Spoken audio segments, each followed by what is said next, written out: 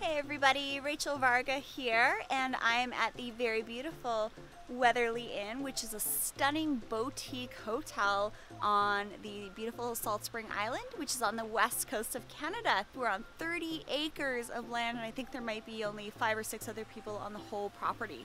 So this is a place where I like to come to rejuvenate and allow my body, mind, and spirit a time to just relax and recharge, which is very important to add longevity to your life. The whole aspect of regeneration and rejuvenation starts from within, and that should be the first thing that you do before even starting to look at rejuvenation procedures. So this weekend, I started writing the content for my book that talks about skin types. So stay tuned for that because I break down beyond, you know, dry, sensitive, combination oily, acneic skin. I actually get into the more medically relevant Fitzpatrick skin types, which is really key.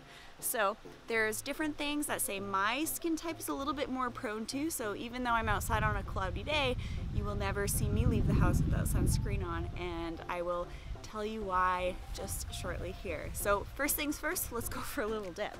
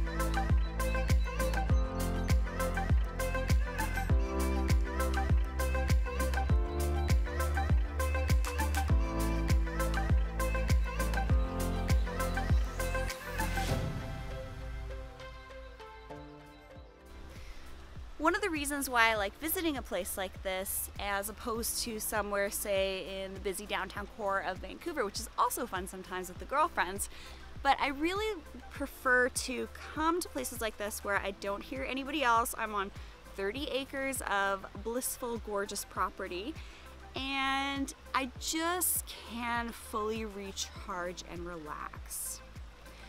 These types of holidays where you allow your body, mind, and spirit the ability to relax will add years to your life. It seems really simple, but it's really quite key. All right, even though we're outside on a cloudy day, going for a little bit of a dip, we're still getting what's called UVA rays. These rays reach very deep into our skin and they are responsible for causing most of our cumulative sun damage.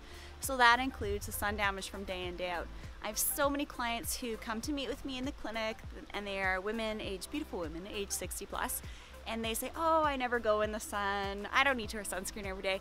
And then I look at their skin and they have brown spots, they have precancerous lesions popping up, and so it just goes to show you the importance of wearing sunscreen every single day to protect you against that day in, day out damage. Some of us, like myself, uh, with my skin type, I am actually a little bit more prone to loss of collagen at an earlier age than say someone from the Mediterranean would be, but more detail on that in my book, which is coming out shortly.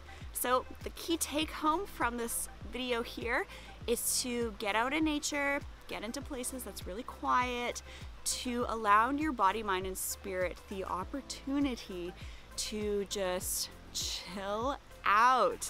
All right, thanks for tuning in. Bye, guys.